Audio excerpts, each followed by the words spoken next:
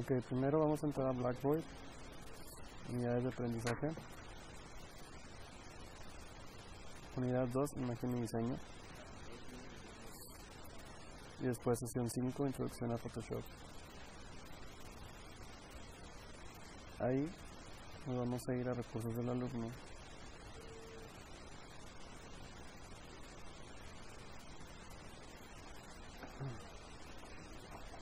Y vamos a descargar las tres imágenes.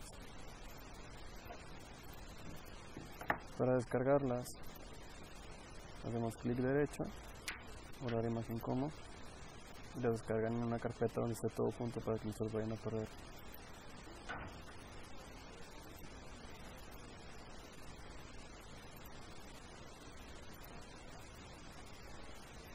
Y este es como va a quedar nuestro post. Es un fotomontaje. Ahora imagen como. Guardar. Muy bien.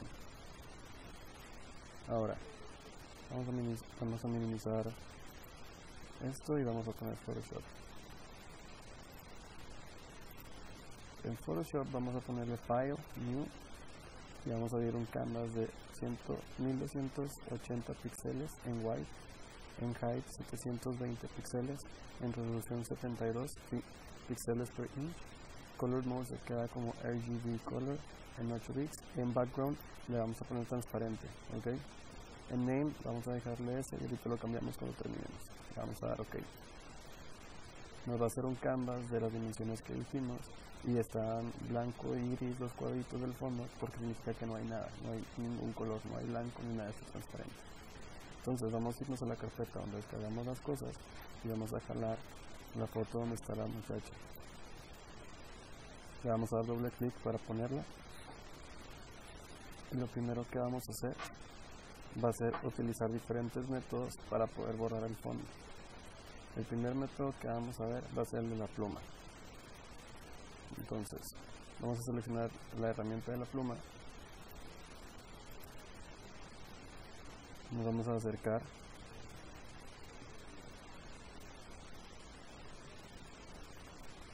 Y aquí vamos a empezar a seleccionar.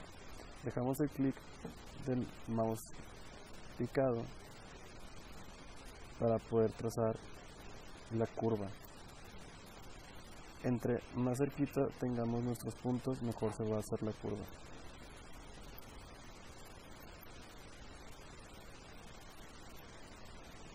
Okay. Nos llegamos a equivocar, acuérdense que aquí está todo el historial en History. Si no tenemos ventana de, de historial aquí en Windows, y seleccionamos History, que esté y les va a salir. Y así nos vamos a ir seleccionando, tratando de trazar el contorno de nuestra modelo. No tiene que quedar perfecto, esto es para que sepan usar la herramienta. Entonces, la verdad no tienen que tardarse tanto. Digo, lo pueden hacer tan perfecto como quieran, pero yo lo voy a hacer un poquito rápido.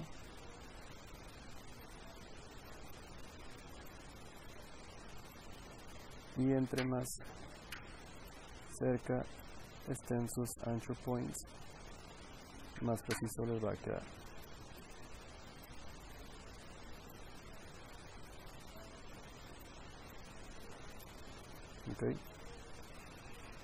Entonces, como ven,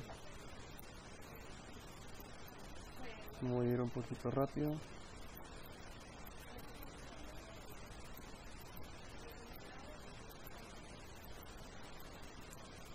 Acuérdense que tienen que dejarle el mouse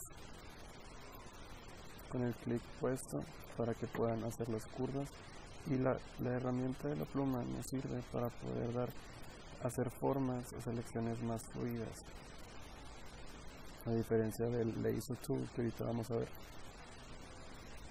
Es decir lo hace más orgánico y pues nos da un poco más de precisión y un poco más de de, pues, realismo porque no son líneas rectas son líneas curvas los que estamos generando.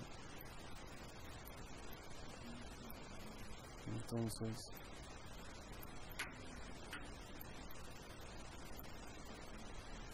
aquí seguimos ya vamos aquí por el caballo el cabello no lo vamos a poder dejar perfecto porque pues es imposible dejarlo perfecto pero sí podemos hacer como un aproximado de qué es lo que se ve más difuminado no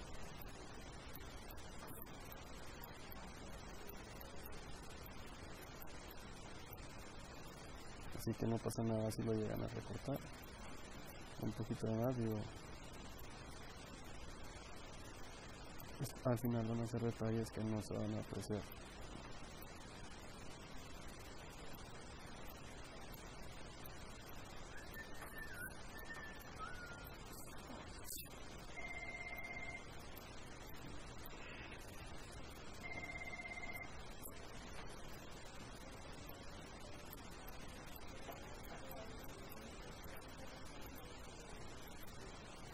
entonces aquí por ejemplo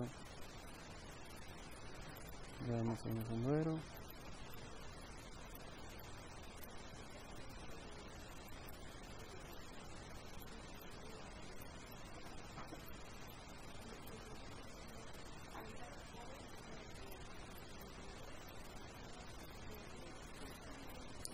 ¿Sí?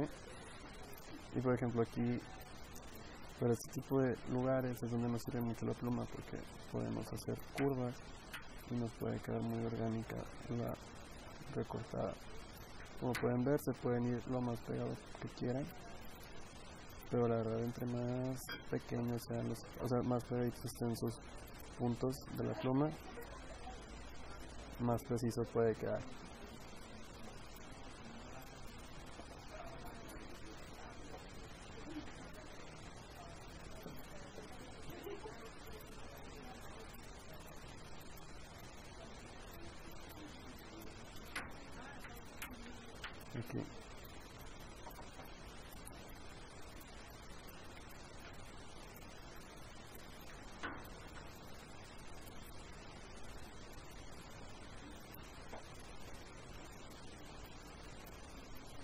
Entonces ya aquí ya vamos a terminar.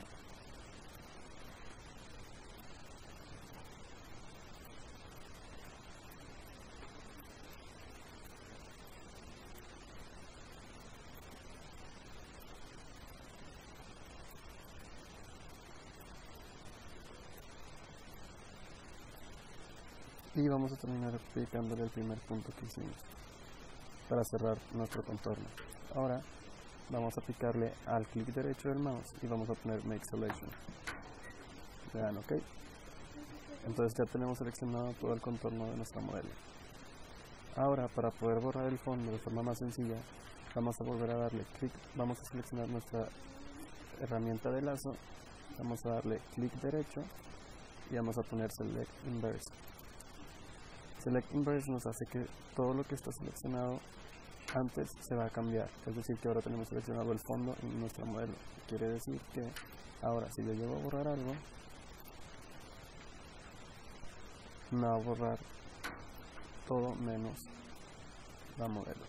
Para seleccionar otro pincel de otro tamaño, vamos a seleccionar el segundo y vamos a ponerle un tamaño un poquito grande para no tardarnos y lo borramos. Y listo, ya quitamos todo el fondo. Control D o control D para deseleccionarlo o seleccionamos la opción de lazo, clic derecho, deselect. Y ahora ya tenemos nada más nuestra modelo sola. Pero todavía hay áreas, por ejemplo aquí y aquí, aquí y en, en las manos donde todavía se ve el fondo. Entonces lo que vamos a hacer es vamos a usar otra herramienta. Vamos a usar ahora sí la opción de lazo. Le dejan sostenido el clic, el clic izquierdo y nos va a dar polígono láser. Eso lo vamos a seleccionar y vamos a empezar. Si se equivocan, nada más que en el historial lo regresen. Vamos a empezar a seleccionar la forma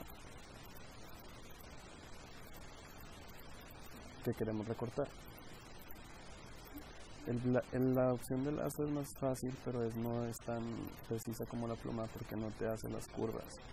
como ven son puras líneas son puras líneas derechas y tampoco se puede hacer zoom una vez que ya lo estás utilizando. Es decir que tienes que trabajar con la imagen como tú te quedaste, decidiste verla o visualizarla. Igual la volvemos a cerrar como esto es una selección ya no tenemos que ponerle select ni nada solo directamente lo vamos a borrar. Seleccionamos borrador clic derecho o nos vamos aquí a la opción de pincel seleccionamos la dimensión y lo borramos.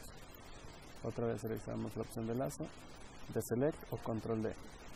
Les recomiendo que se empiecen a aprender las opciones estas de control D y, y atajos porque les ayudará a trabajar más rápido. Aquí vamos a borrar otro cachito también si nos vamos a las esquinas sí nos puede estirar la foto pero no nos puede ayudar a hacer más zoom o menos zoom entonces entre más cerquita estén pues más se van a tardar pero más preciso va a quedar. Este, otra vez lo borramos. Control D desde seleccionar. Y ya usamos ya dos herramientas para borrar el fondo. Ahora no todo tiene que ser muy preciso. Podemos seleccionar nuestra opción de borrador y podemos seleccionar uno de estos pinceles por ejemplo el, tercero. El tercero lo que hace es que nos ayuda a borrar pero las esquinas del borrador las hace las difuminas para que no se borre por completo todo y se vea un poquito más orgánico, como si estuviera un poquito más orgánico y así no, no nos podemos comer, si, se como, si nos comemos un pedacito de mano o un pedacito de dedo, pues no se va a notar porque está difuminado. Lo pueden hacer lo más chiquito que sea y entre más chiquito pues más difuminado va a quedar.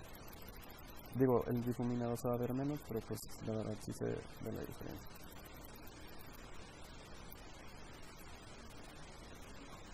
Por ejemplo, aquí en el caballo también funciona muy bien. Podemos aumentar un poquito el pixel. Y como ven, es como si el cabello se estuviera moviendo. Se ve borroso y no se ve nada. Entonces, por ejemplo, aquí también, si ya podemos hacer lo mismo. Lo pueden hacer con muchos clics, pero cada clic acuérdense que les aumenta una cosa del historial y a veces el historial está restringido a tantos movimientos o lo puedes hacer con uno solo.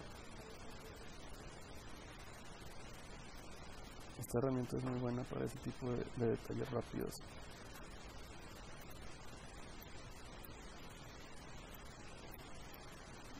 Que se pueden, que no tienen que verse muy precisos porque están muy chiquitos que la verdad tipo no, mucha gente es igual y si los quitan no se van a notar.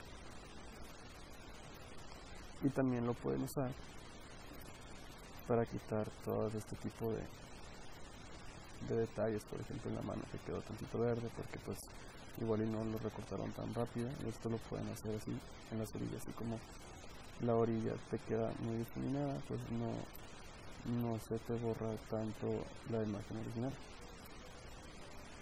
como pueden ver aquí yo me comí un pedacito pero como está muy lejos lejos y está difuminado no se llega a notar entonces una vez que ya estén contentos con el resultado de esta imagen no voy a borrar unas cositas así.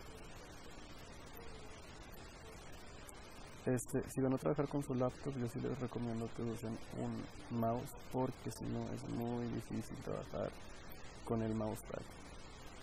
Digo, si pueden hacerlo, pues está súper bien, pero si no, pues sí les recomiendo que lo hagan con un mouse. Por ejemplo, aquí me comí un pedazo de sombrero y se pueden regresar aquí con el historial. Ahí está. Ya tenemos nuestro modelo totalmente sin el fondo. Ahora, para poner el fondo, vamos a hacer lo mismo. Vamos a agarrar la imagen donde guardamos nuestra, la carpeta donde guardamos nuestra imagen. Vamos a jalar el fondo. Y como estamos trabajando en Layers, se va a poner arriba de la imagen. Le vamos a dar doble clic para ponerla. Y nada más vamos a cambiar el orden. Las, que están arriba están arriba, las que están arriba en el orden de arriba hacia abajo están arriba de las imágenes que están atrás. Entonces, para jugar con las escalas hay que tener prendido este botoncito que dice Show Transport Controls. Si las apago no las puedo ver, si las prendo las puedo ver. Aquí está. Entonces, como nuestra torre Eiffel está tapando nuestra modelo, vamos a voltear la imagen. Para voltear la imagen solamente la hacemos, la agarramos de aquí, la agarramos de aquí y ya la invertimos. Le damos doble clic para ponerla, para que quede bloqueada. Ahora, si, si visualizamos nuestra foto final, vemos que tiene esta, este marco y estos puntitos y tiene, tiene varias figuras. Entonces para poder hacer esto vamos a ponerle control a shift n para una nueva layer o simplemente nos vamos aquí clic derecho nos vamos aquí. Y esto significa create new layer aquí dice.